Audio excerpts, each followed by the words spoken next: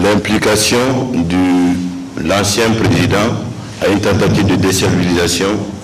Nous l'avons appris par euh, voie de presse et sur euh, un plateau d'une télévision libérienne qu'un citoyen guinéen a été arrêté et que les interrogateurs ont permis d'établir que le professeur Alpha Condé était en train de fomenter avec euh, des personnes un coup d'État sur la Guinée.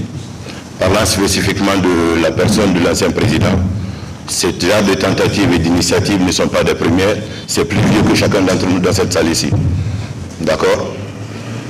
Il a déjà fait, il pourra le faire, il le fera peut-être. Qu'est-ce que l'État envisage de faire?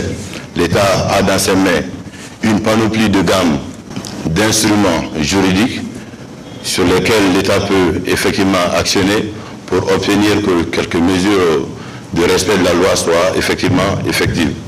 Et par endroit, et cela me permet d'ouvrir une parenthèse, même si ce n'est pas la question, c'est pour juste illustrer le fait que l'État est vraiment fort et que l'État a des possibilités. Il y a quelqu'un qui s'était évadé il y a un peu plus de dix mois. Hier, il vous a été présenté dans une maison. L'État peut aller chercher qui est en mal avec la loi et le mettre devant ses responsabilités, partout dans le monde. Le professeur Alpha n'est pas exempt de cela. Merci.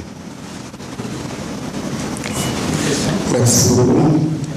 Je pense qu'il faut dire aussi alors les volontés réelles ou supposées ou juste pour des faits de propagande, il y a beaucoup d'acteurs politiques ou sociétés civiles qui chaque jour essaient de dire demain on fera un coup, on va déstabiliser. Ces tentatives sont aussi connues ou ces idées sont aussi connues. C'est pas ce qui. Un État a des moyens de s'informer.